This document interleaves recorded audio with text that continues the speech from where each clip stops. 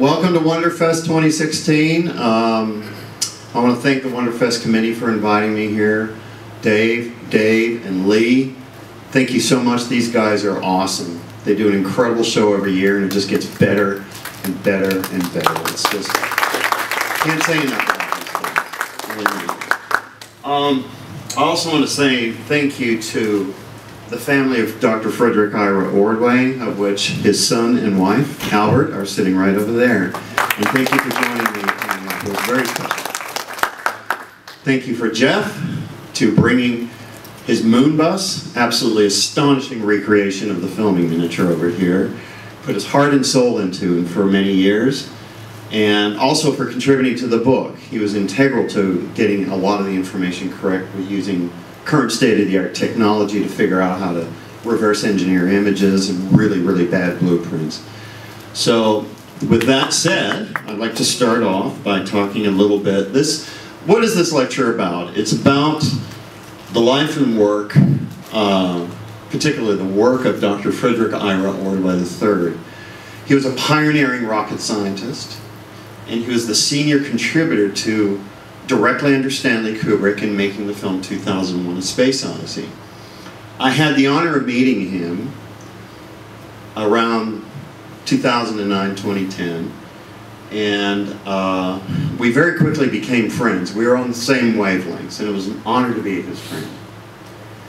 Anyway, how did this all start? So, next image, please. Up until 2001, A Space Odyssey, this was the state-of-the-art state of the art in spacecraft design and film. As you can see, it was basically a flying saucer or, or alien vehicle down the right. This is this basically summarizes almost every science fiction film made up till 1968. Or some variation of Wernher von Braun's V-2 rocket on a gigantic scale. So the focus of this lecture is how Dr. Ordway, working with Stanley Kubrick and 300 engineers, the top scientists in the world, who went to Borehamwood Studio, changed film history and changed history of rocketry and space travel as we know it by bringing to the public this kind of information in the form of a fantasy film. So we're going to start off with how this all started. Next slide, please. Okay. The first serious science fiction film where they actually hired a scientific consultant was this film. This is an actual still from the UFA archives in Germany. This film was Woman in the Moon, made in 1929 by Fritz Lang, and the director of the film, in regards to the scientific direction, was Hermann Oberth. If you've heard his name, he was considered to be the, rocket, the father of all rocketry and space travel. And in my latest book, I talk a lot about how important he was and why he was considered to be the father of rocketry and space travel. He designed this rocket, and, and if you're familiar with the Apollo Saturn V, there's incredible similarities in the, in the basic functioning of the unit as a multi-stage rocket and how it would take off, go into space, and all the things that would encompass rocketry you know, at that time. And so this was literally the first serious science fiction film. It was a turning point in film, and it also gave Fritz Lang an uh, enormous amount of respect up to this day as one of the great directors of all time because it was very, very serious about how he approached his topics. And in his mind, this was not fanciful. And Hermann Oberth used this movie as a launch pad to the public for his ideas, which at the time were considered to be ludicrous, about sending a rocket into space with a human being on board. Next slide, please. 1936. This film came out of Russia. It's called Cosmic Voyage. Very few people have heard of or even know about this film. I want to reiterate by saying everything I'm showing you, Frederick Ordway showed Stanley Kubrick but in 1965 to make Kubrick aware of what had been done so Kubrick knew in his mind what to do or what not to do in directing his own film. Cosmic Voyage was very similar to Woman in the Moon, technically, that they hired a scientific consultant. The scientific consultant on this film was Tsiolkovsky, who was the father of rocketry and space travel in Russia, a very, very important figure in, in pioneering rocketry and space travel history. He designed the rocket up here The rocket was a gigantic moon rocket, similar to the one in Woman in the Moon, except it took off on a horizontal uh, launch pad that slowly swept up and then released the rocket. The beauty of this uh, that was explained to Kubrick is that the sets were built on a massive scale, the miniatures. This miniature, we believe today, was about 30 feet long, including the hangar that it was in. When you see the film, the camera very, very slowly moves all the way around the miniature and you see little figures moving and stuff like this. So in 1936, this was the state-of-the-art in filmmaking, and it was not seen in the United States. So how did Fred Ordway get a hold of this? Well, he just happened to be friends with Yuri Gagarin. He, he talked about the Russians a lot. He had a lot of respect for their scientists. And Yuri Gagarin told him about this film and somehow managed to get it. And it was shown privately in Kubrick's offices in 1965. Next slide, please. This is another very important film. Um, this is called Spaceship One Starts. And it's like Germany's version of Cosmic Voyage gigantic sets, gigantic miniatures, little people walking around, very believable visual effects for the time. This is the mid-30s as well. And in this case, it took off very similar way. It took off horizontally, went up a, a, launch, a launch ramp, and slowly made it up into space.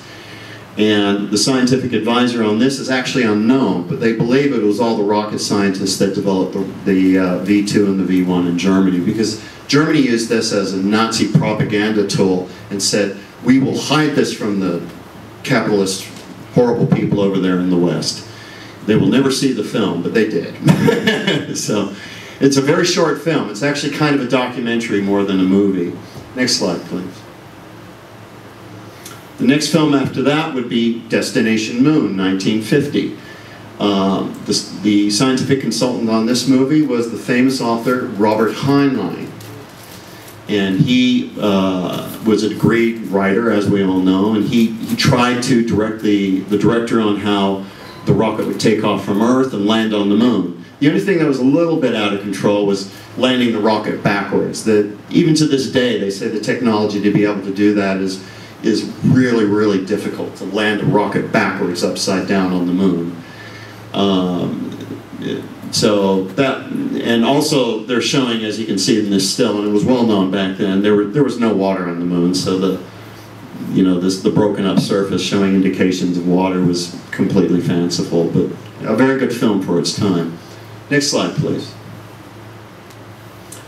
Then the next great leap in film design would be Conquest of Space, 1955.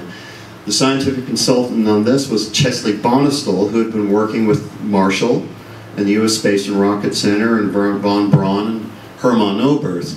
And these are actually von Braun's designs of what he thought would be a real space station and a real means of getting human beings to Mars and exploring Mars. And more information that was brought to the table to enlighten Kubrick on, on what would be believable and what would not be believable. But again, you can see very, very simple designs.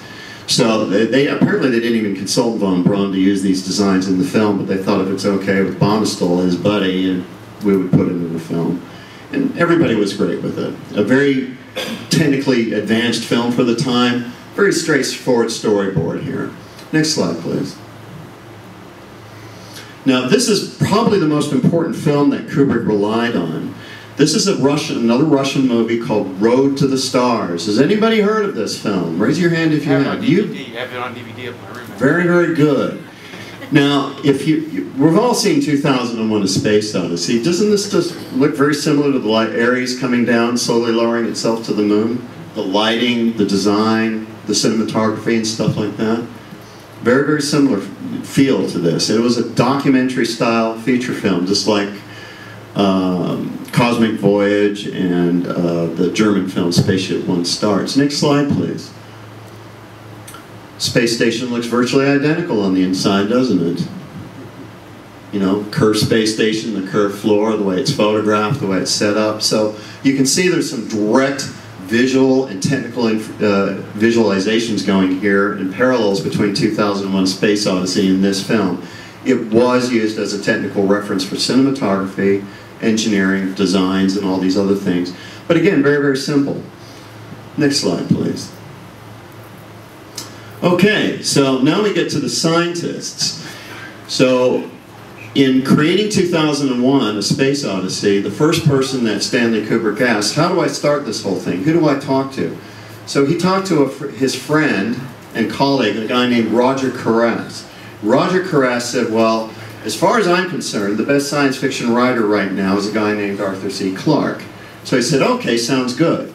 So they contacted Arthur C. Clarke, and Arthur C. Clarke got, got his start for Stanley Kubrick by showing him a little tiny short story in this one-issue Pulp Fiction comic book called Ten Story Fantasy, published in 1951. You'll see Arthur C. Clarke was so unknown at the time, he didn't make it to the front cover anywhere. So anyway, the, movie, the, the short story was called The Sentinel of Eternity, which was used as the basis for the entire script and philosophy of the film about aliens, super intelligent, almost on a godlike level, planning things for mankind to discover at a certain stage of and it was written with a colleague named by uh, McGowan, I believe. And Kubrick had this on his desk and he was thumbing through it constantly trying to figure out how to integrate this into a screenplay. So, because he was very aware that aliens in science fiction movies were completely unbelievable before that, it was designed for, in his opinion, 11-year-old boys. He wanted something serious, and this was the first book that was really seriously looking at life outside of the universe, outside of Earth, excuse me. And he proposed it in a way that if we found life, it would be really hard to tell if it was alive or not, based on our known science at that time. And then, um, and then things started to evolve from here.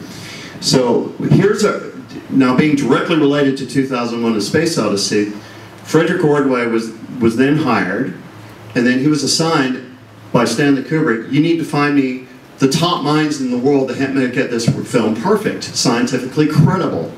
So Frederick Ordway brought everything he could possibly bring from NASA and Marshall Space Flight Center. We're talking boxes as big as, as, as many that would fit in this table. Boxes and boxes and boxes and boxes of stuff from Marshall Space Flight Center's Advanced Projects Division, and he had to have clearance from NASA and the federal government to do this. A lot of this was still considered to be classified.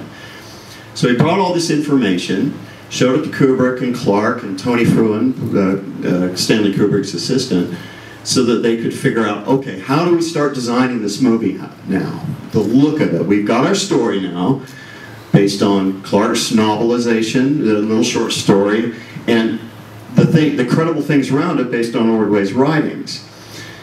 So this is how they looked at it. So for, this is an example. This is the evolution of the one-man space pod that I wanted to show to you how quickly things evolved in that film.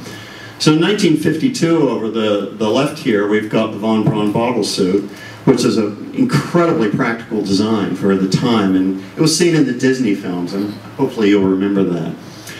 Now, hidden under the table, and it's explained in this book here, Boeing very secretly was designing one-man space shuttles for deep space exploration missions. Wow. There's the 1960 one-man shuttle. There's a little man to scale to show how small it was. The 1961 Boeing shuttle.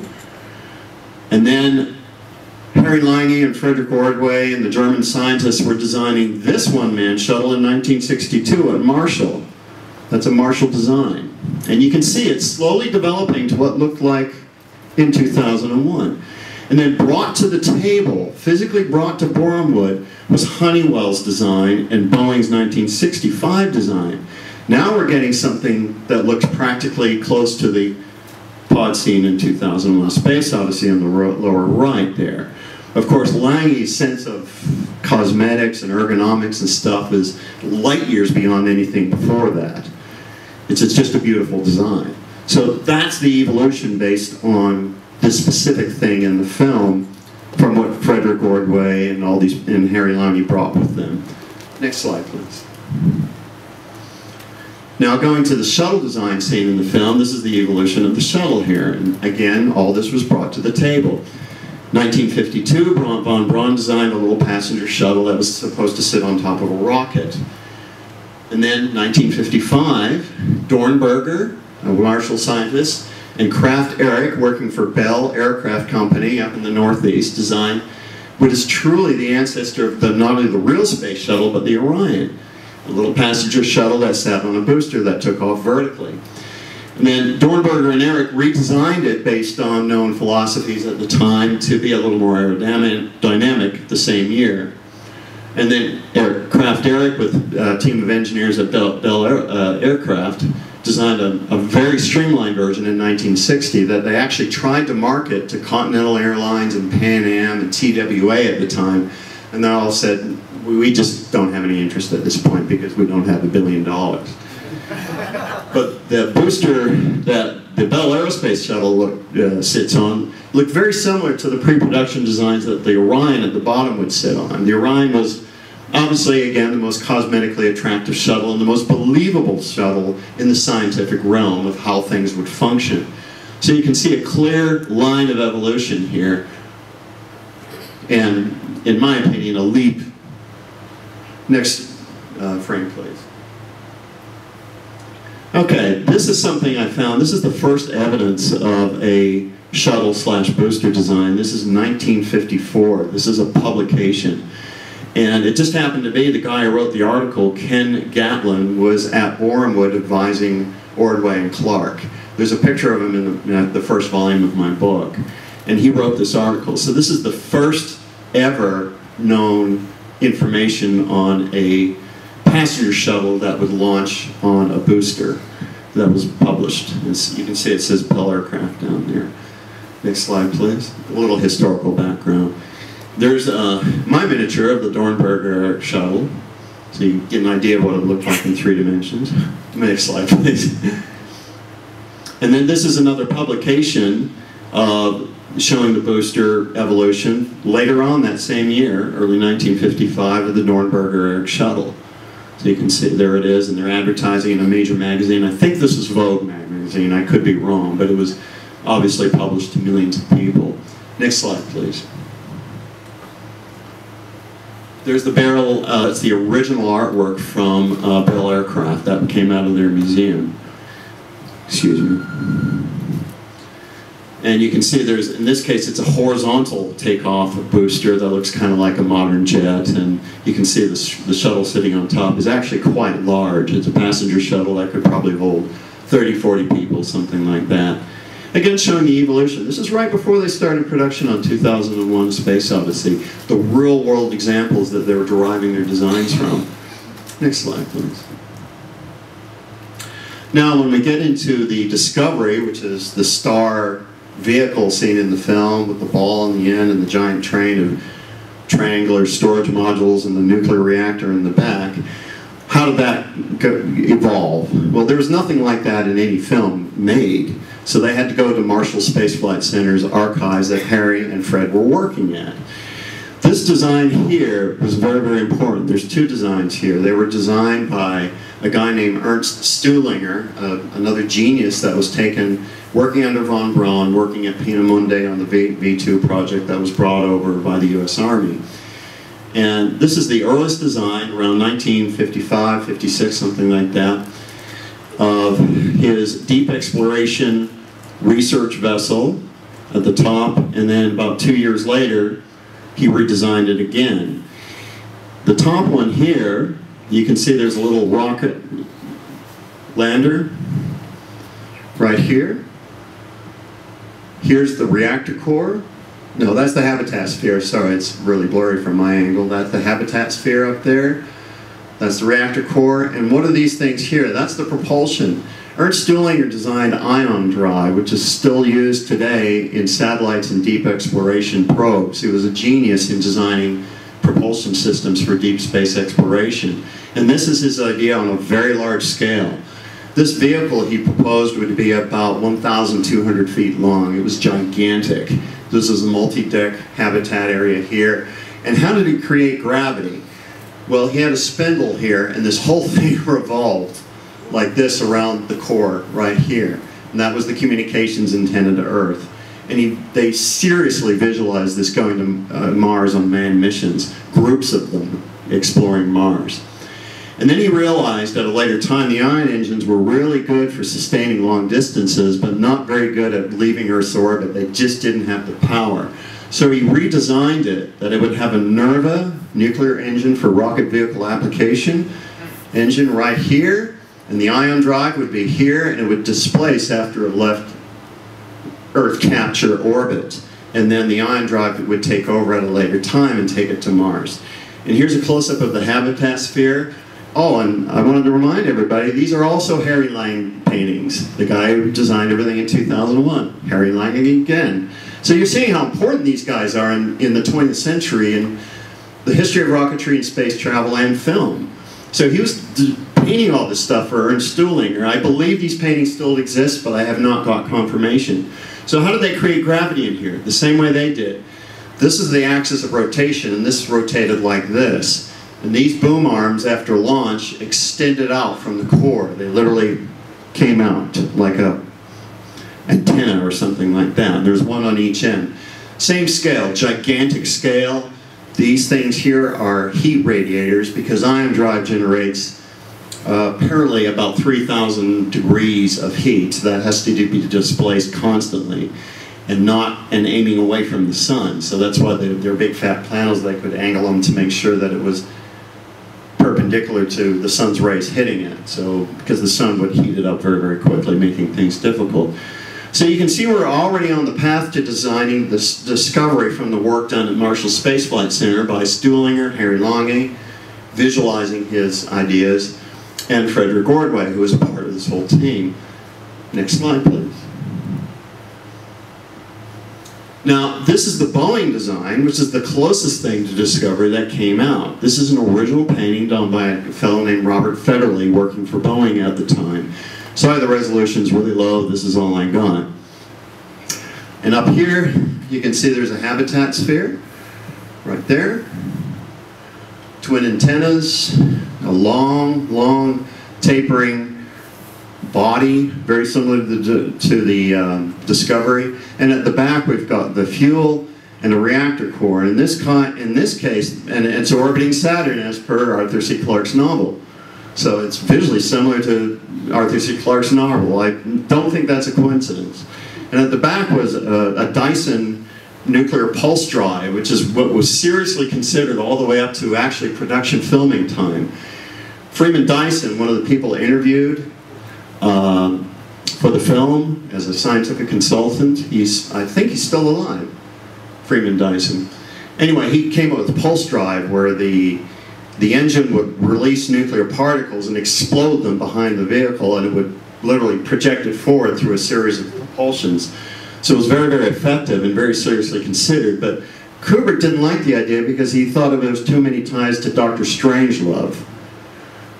So anyway, the next slide. Enter scientist number 100 and something or other that helped Frederick Ordway on this film. This is a guy that I've talked about in the first book and also in the second book here. His name's Thomas Widmer. He's never been mentioned anywhere, and the only reason I have this information is thank you to Ms. Dr. Frederick Ordway. Uh, Widmer was working for General Electric uh, at the time, who was a very serious uh, contributor to the film. And Thomas Widmer was the, one of the world's leading experts on nuclear propulsion as a means of rocketry and space travel for deep space exploration. And he described in this book, right here, which was given to Stanley Kubrick in 1965 by General Electric, Mr. Widmer himself, through Frederick Ordway, this book right here. They actually, Stanley Kubrick got the first edition of this, which was softbound. It's in the traveling exhibit as we speak. You'll actually see this book, but with a slightly different cover. And this is what Kubrick visualized his whole film would look like. So if you want to look at this book at down my, my table, you get an idea where Kubrick's mind started visually. It was with this book here. And in that book, and this was owned by the artist who, uh, who actually illustrated the book, so there's kind of cool history there. And what Mr. Widmer came up with was two designs. And the first one, very similar to the Discovery and basic concept, and especially the early study models of the Discovery that you'll find in the making of 2001 books. And his original idea had a habitat sphere inside the ball in the front. Unfortunately, the bureaucrats stepped in and said, we can't afford that, so they just converted it over to a Gemini-style lander over here but kept the were exactly the same. And you can see I'm referencing Mr. Frayling's book right over here. So if you go to these pages in his book, you'll see the early concept designs of the Discovery and how they almost exactly matched this. So that's the scientific background right there. Next slide, please. This I found in Dr. Ordway's uh, archive. As far as I know, this is the earliest drawing ever done of the discovery for 2001 A Space Odyssey. Nothing predates this. We believe this was actually drawn up in his New York offices before they moved to Borehamwood. Now, based on all the slides I've showed you before this, you can see that they stole a lot of ideas from GE and Boeing, Marshall Space Flight Center, and all these different companies to start the process of the design. There's the Stuhlinger nuclear reactor, the Stuhlinger cooling plates here, and one of these things right here, that's the ion drive. So the initial design of the Discovery was basically a Stuhlinger Mars vessel, but per Clarke's novel, had the habitat sphere with three pod bays. That was always in the design because it was in the novel, or I should say the screenplay that Kubrick and Clarke were developing together. So this is the earliest. You can see it's half, it's part Widmer, part Stuhlinger, part Lange, part Clarke. It's a little bit of everybody all thrown together. And when you visualize the discovery in the final design, you can now clearly see the evolution of this vehicle here. What this giant pole is, I don't know. I'm going to uh, assume that there's probably antenna communications or something at the end of each pole. But again, it's a gigantic length, about a thousand feet long at this particular point in time. And they thought due to the gigantic mass of this, it would have to have many, many, many ion engines that could be turned and controlled to control the, the direction of the, of the vehicle in space. Next slide, please. Uh, this is uh, my discovery here, and I'm, I'm, hoping to rewrite the history books with this discovery. Uh, Fred had this hidden, when I say Fred, I always know that I'm talking about Frederick Ordway, had this hidden in a box that was labeled 2001 that he brought back from Borehamwood with him. And I looked at it and I went, wow, the first thing I noticed is says Alcyon Station right here, which means basically orbital station.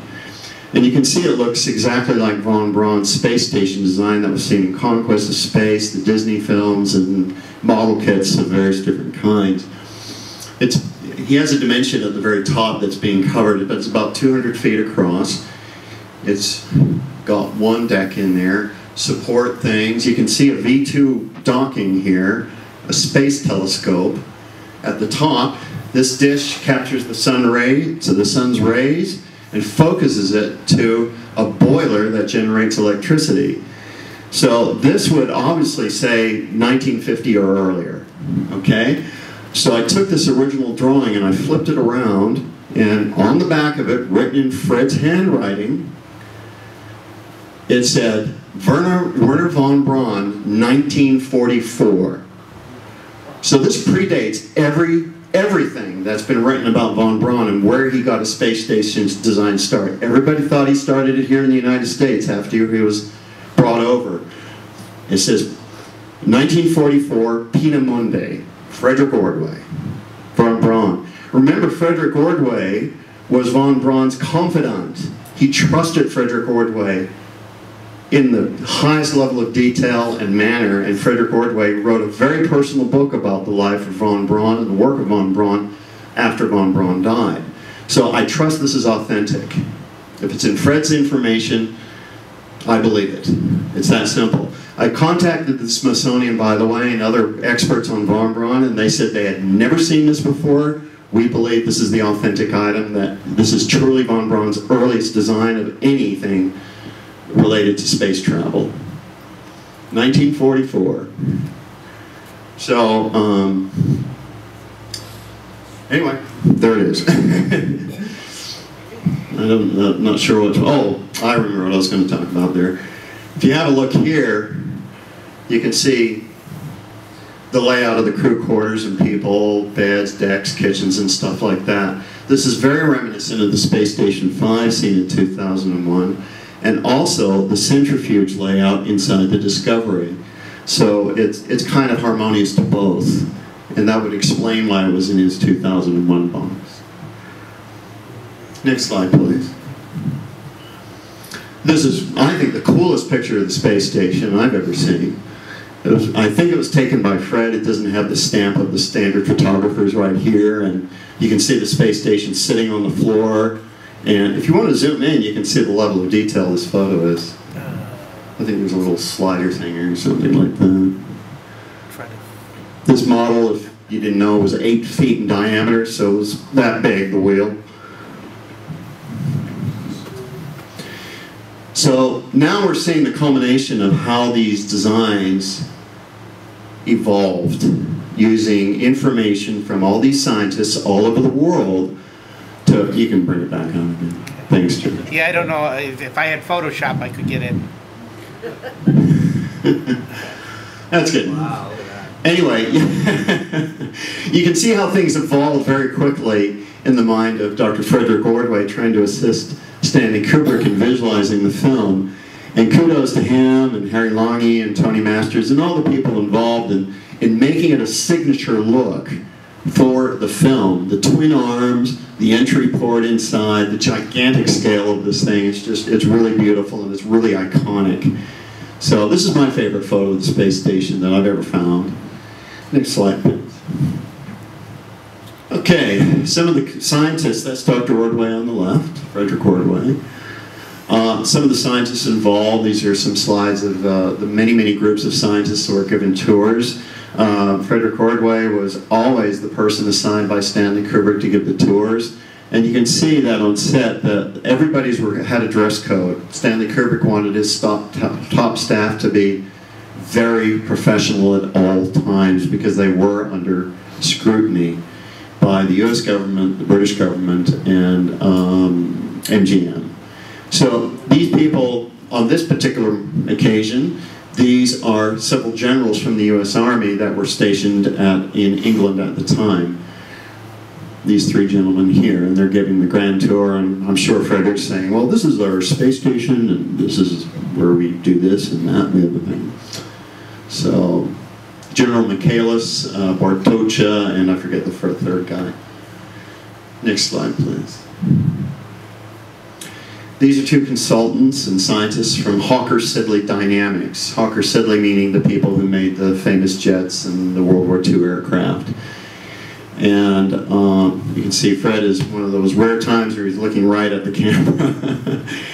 and anyway, these guys put an enormous amount of effort in designing the control panels inside the pod. In fact, they, they managed to get Hawker Siddeley Dynamics stamped right in the pod. I don't think you can see it in the film, but it's on the sets. And it's a beautiful, beautiful shot showing what was really going on behind the scenes with all these really high profile scientists and people um, working with Dr. Ordway on getting everything scientifically believable in this film. Uh, next slide, please. Here's Dr. Ordway's giving a tour to uh, Richard Leakey. Anybody know who he is? Remember who he is? Yes, he actually made sure that the ape sequence was correct at the known at the time to be based on known theories of anthropology and the origins of human beings. Top scientist in that field in that time. To, and the gentleman in the middle is a guy named um, Bevilacqua, who was one of the top computer scientists in the world working for IBM. He worked with um, a whole team of people to make sure that how a computer was believable, how a function was believable, and how it looked was believable. So he was basically a computer consultant. And again, Frederick giving a, a tour, in this case, the Space Station 5. Yeah. Next slide, please. These are some cool behind-the-scenes images from Fred's personal library. Uh, this is the construction of the passenger area of the Aries right here. They're basically building it. You can see the toilet on the right, and they haven't even built the central elevator yet. And just the extremely high level of construction quality that the, Mr. Kubrick insisted on having all the time. And the level of detail following Harry Lange's drawings to the letter, et cetera, et cetera, et cetera. Next slide, please. Another really interesting shot of the passenger area. I'm showing these images because they're not published. I just thought they, they were more fun than, than academic interest. Next slide, please.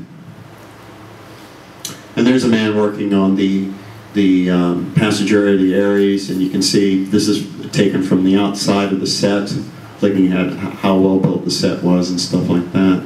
You can see how big the sound stage was at uh, Borehamwood there. I think the ceiling was 45 feet or something like that. It was a huge, huge room. Next slide, please.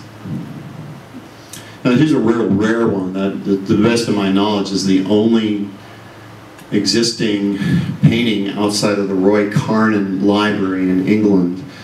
Roy Carnon was one of the visualizers that worked with Ordway, Tony Masters, and Harry Lange on visualizing what Harry Lange's designs would look like as filmed to work so that the production designer, Tony Masters, could convert that into the real world. And this has never been seen outside of Frederick's uh, home till today. And this is the um, antenna dish that he preconceived with Harry Lange that would go on the center of the Discovery that the astronaut did the spacewalk on. So we believe the original painting is actually gone, so, but this is a very high quality reproduction of, you know, truly professional grade reproduction. Next slide, please. Uh, what you're looking at here is a true piece of history in my mind. If you, can you zoom in on the bottom right down there, please?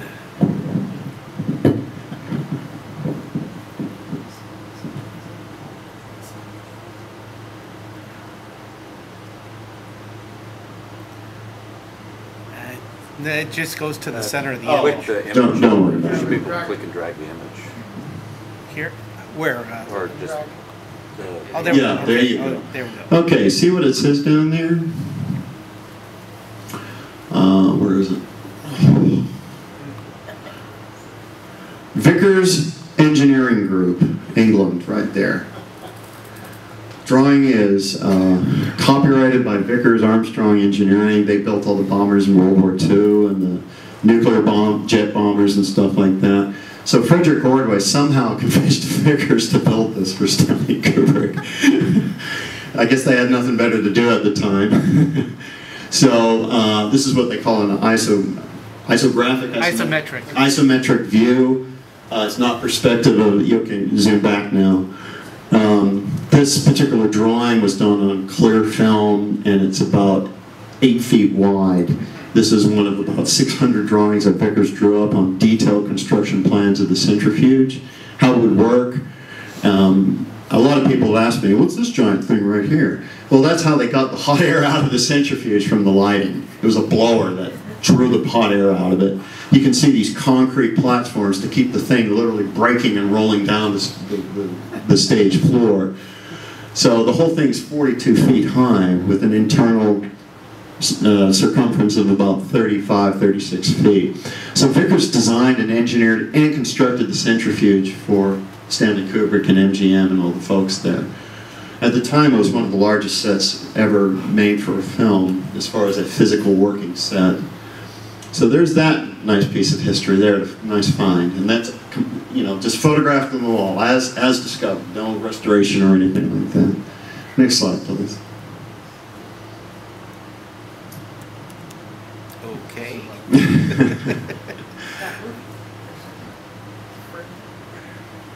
Let me see if I have to zoom it out first. Yeah, yeah, zoom it out, I guess. Hit the minus there.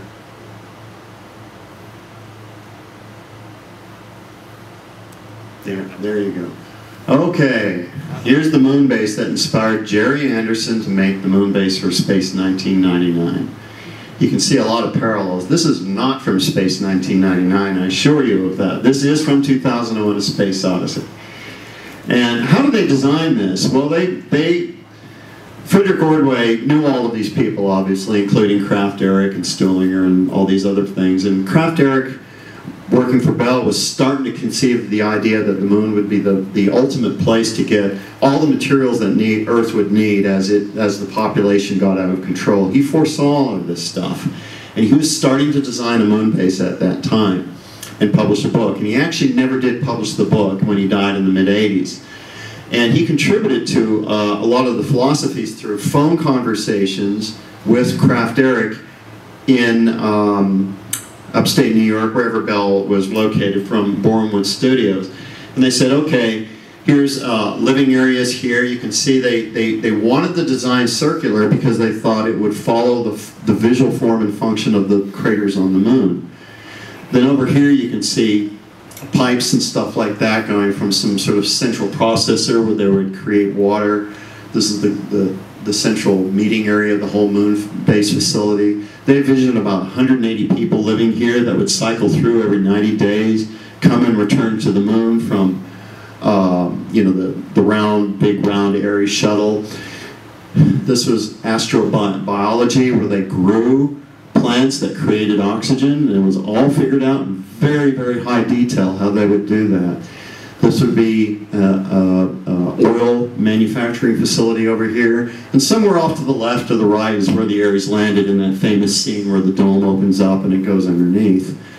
So uh, it, it, it's not just a model, okay? It's a model of something that they believed would really work based on all these consultants that came along and, and said this is what we think would, would happen.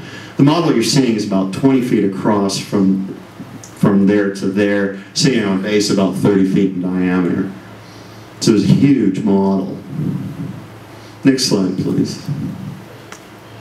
Here's a close-up of the of the uh, biology area, the factory, the pipes leading into the central facility and the moon base headquarters, and again, the, the beautiful form and function. They built a study model about six feet across, and then from that study model, uh, the modelers worked with Harry Lange on his drawings to create this gigantic moon base miniature that you barely saw in the film. It was kind of sad. You, you, they just skimmed through it with through the windows, and then you never saw it again you can see just the beautiful level construction and design and the thought that went into this thing. And, and you really never saw it. It's sad. So now you're seeing it. Next slide, please. Okay. Now we're getting into the um, more of the blueprints that were never published before. I got about five minutes, and then my friend here, Jeff, is going to talk about he, how he created this moon bus over here. This was the hardest thing that I ever restored as far as the original blueprints and drawings. You're seeing seven drawings that were stitched together and I had to figure out what each little drawing that was cut up was somebody's knife that Borehamwood and thrown in a garbage can. The Fred, thank you, thank God, took home, right? so you can see here's one section because I had angled that. This is another and another and another and another, and then looking at pictures and close-up pictures of sets, I finally figured out, oh, this, this goes behind the two seats in the command sphere. And then there was parts missing that were knifed off for some reason. So the areas that are blue is what I filled in based on looking at photos. So it's, it's pretty accurate. So those are the blue areas that were missing, cut off by somebody's knife. And this blue area right here is where they changed the set at the last minute and said, oh, we want buttons there, so they glued a couple of buttons right on it. This is a big doorway opening that went up into an unknown area that nobody's ever figured out. Next slide, please. Uh, I put this in the wrong order. This is supposed to be like half an hour. this is Martin's design for a deep interplanetary space vehicle. Again, very serious thought and study went into this, as proposed again at Marshall Space Flight Center. And you can see it's got a habitat sphere just like the Discovery, docking port here, these are windows, two EVA pods that are connected, control tubes, a big antenna, and back here, a NERVA engine, nuclear vehicle for rock, a nuclear engine for rocket vehicle application. So that was their discovery. I call it discovery. Their discovery. So again, more history stuff that evolved into what we saw in the film. Next slide, please. Okay, taking my friend Jeff's drawings, this is the rest, this is uh, a publishable version of his 3D CAD drawings that he painstakingly drew and created that. And so what I did for publication in the book is basically look at make it look like photos of the filming miniature. That's basically all I did. And Jeff will go into detail in a, in a few minutes. Next slide, please. Here's another uh, blueprint that was heavily restored because it was in, you know, pretty awful condition. This is the Orion panel that went on the side, and then they stripped out the buttons and changed them around a little bit and made it into the Aries panels that went onto the sides. Again, all, all Harry Lange's drawings and, and designs. Next slide, please.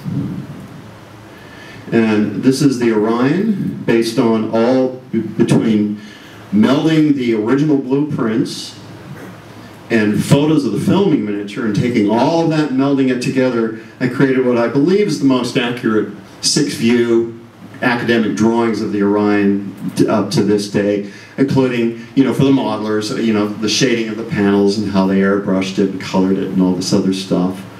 So that's the Orion right there. Next slide, please. Now here's a really cool photo. Now, the original drawings and the set show the crew pad, the, the crew sat up front, uh, as seen in the movie, and then again as seen in the movie, the, the stewardess magically appears out of this back room, walks down the aisle, grabs the pin out of the guy's, out, out of midair and puts it in the guy's pocket in the passenger area, which is again a beautiful design. So what room did she come from? Well, over there is the crew cabin where the pilots sit in the Orion. This is the Orion. And right behind this wall right here is the passenger area. This is the galley and the entrance to the Orion that was never filmed, but it was built. You can see again the beautiful ergonomic design of Harry Lange, a, a beautiful blend of engineering, technology, and graphic and industrial design. You can see why George Lucas hired Harry Lange to design all the interiors in Star Wars films. It was the same man. Next slide, please. Here's a really beautiful shot of the Orion filming miniature. You could zoom in a little bit to show the detail.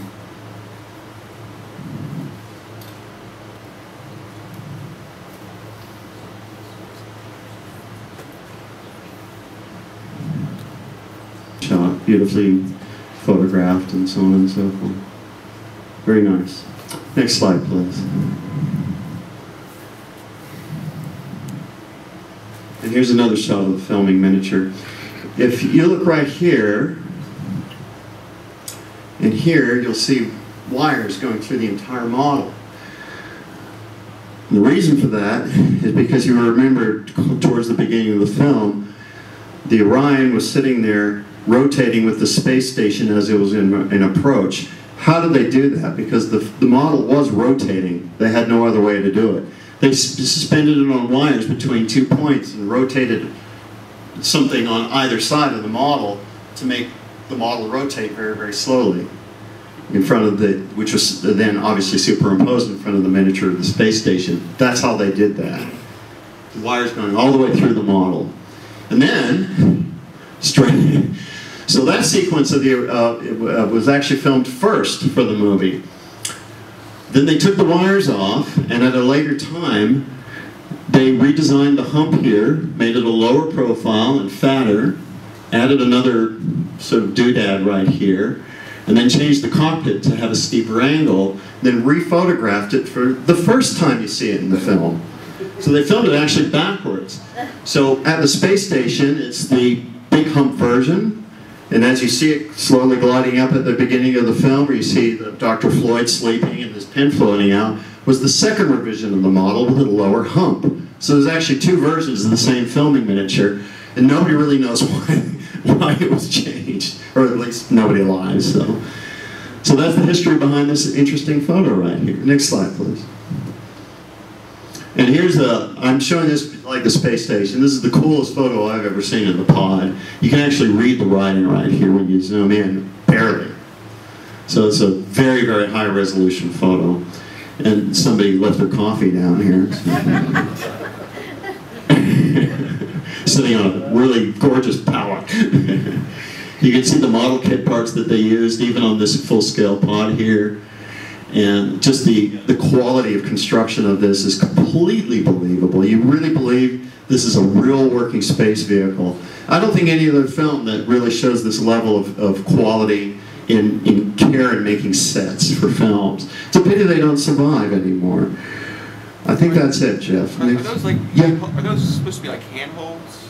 Yes, yes, yeah. In deep space walking, the, the astronaut could grab it and sort of carry himself a- around the pod in some way, shape, or form. Um, the back up here is actually a camera, is actually a HAL eye, and this is a HAL eye as well.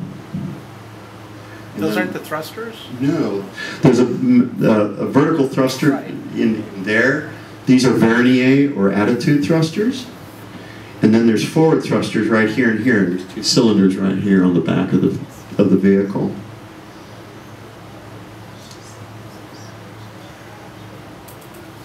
I think that's it, isn't it, Jeff? Is there any more? Goes back to the beginning. Yeah, that's the end. All right. Uh, is there any questions, really quick? I got about two minutes. Anything at all? Eleven fifty-seven. Perfect time. Is there any chance that any of the other miniatures survived? I know they recently found the, The Aries, yes, and that's owned by the Academy of Motion Picture Arts and Sciences. Sold at auction for three hundred and fifty thousand dollars. A filming miniature from this film. We believe that's the only one. there's that one picture of the space station kind of rotting away out in the yard. Yes, it did. It was having daisies growing in it. It's sad, isn't it? And then it was bulldozed. Yeah. I've actually got the newspaper articles stating directly from the local news in that area, Compton News or whatever it was, saying that there was the pod miniature, the Discovery, the space station. MGM was ordered to bulldoze it. It was witnessed by the children at the school. Yes, sir. Adam, how much of the uh, design was in contention, maybe that it wasn't actually functional? Like I see ribs on the bottom, things like that. How much of the flourishes that weren't really scientific? Mean, what, what contention was there I think that's I think that's just you know beauty beauty stuff. I, you know, I mean, who really knows? Unless I had Harry Lange here saying, "Harry, what was going through your head?" Um, it, it's hard to say. We can only guess. Um, it could be structural support, but Harry Lange was he was not only you know academically trained from a scientific point of view to design, illustrate, and draw, and all these other things, but he also had a very, very strong sense of aesthetics. So a lot of the stuff you're thinking and seeing here, I think is aesthetic. And, and remember, these design changes went through almost weekly, if not daily. And in most cases, there was a final drawing. There was a final drawing of this and a final drawing of the space station and so on and so forth. But there's always little details that didn't that ended up on the model or the real set that wasn't on the drawing. All these little things. But the pod actually ended up 99% to the drawing. And then, you know, they used Letraset to uh, rub on decals to get all these writings on there, which was all conceived by Frederick Ordway and his team of 300 engineers that worked on this. And the claws in this case were manipulated through a vast series of robotic and mechanical electrical systems inside. They were not human operated like a, a puppet or a muppet. They were actually mechanically controlled remotely so they could see what it was doing. And they moved so slowly, Kubrick had to speed up the film to make things, make it look correct and, and move very fluently in the film. So, anything else? Did I answer your question? Did they build a full interior on one of the pods? Yes, they did. Yes, and it did fit. One of the pods had um, no interior. One of the pods had a full interior, and then the other pod had just the manipulator arm mechanics in it. So each pod inside it was completely different. Are they uh, fiberglass bodies? Yes, And, uh, fiberglass and epoxy and lots and lots of gel paints and sanding in between and you know Respiratory failure? respiratory failure and yeah, you name it. I'm sure the guys didn't wear a lot of protection back then. So, uh, anything else? I think we can wrap it up then. If you have any more questions, I'll be downstairs in the dealer room and you can ask me there. Thank you so much for your time. I hope you enjoy it. Up next is Jim.